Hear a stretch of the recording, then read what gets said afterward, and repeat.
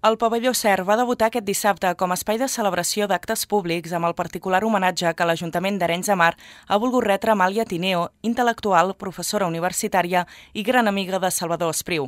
L'estrena de la seu del Centre de Documentació i Estudis Salvador Espriu com a sala de conferències s'ha saldat amb un èxit rotund per la bellesa de l'edifici i el seu singular contingut.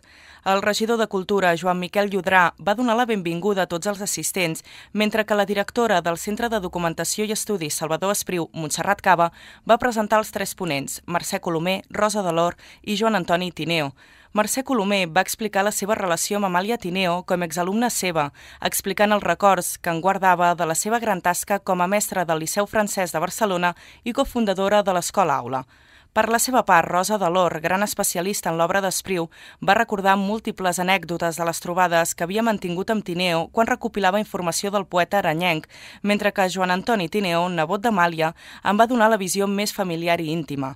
Amb les tres intervencions es va aconseguir proporcionar a tota l'audiència un enfoc global i complet del que va ser aquesta gran dona sàvia. Amàlia Tineo i Gil va venir a Catalunya de molt jove i va arrelar-se de seguida al país. Va estudiar Magisteri i va entrar a la universitat l'any 1930. Va cursar la carrera de Filosofia, on coincidia amb Lola Solà i Mercè Muntanyola. Allí va conèixer Salvador Espriu i Bartomeu Rosselló Pòrcel.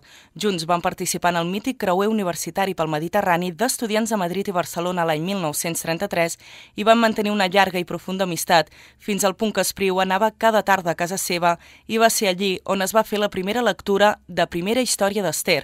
A més, Espriu li va dedicar el llibre Les cançons d'Ariadna el 1949 i li va confiar la seva correspondència i altra documentació que aquests dies es pot veure exposada al Centre de Documentació i Estudis Salvador Espriu. L'any 1935 fou la primera dona que va arribar de professora associada a la Facultat de Filosofia a Barcelona. També va ser professora de Filosofia a la secció d'Ensenyament Mitjà Espanyol del Liceu Francès de Barcelona des del primer moment i fou cofundadora de l'Escola Aula amb Pere Rivera i Jordi Sarsenedes.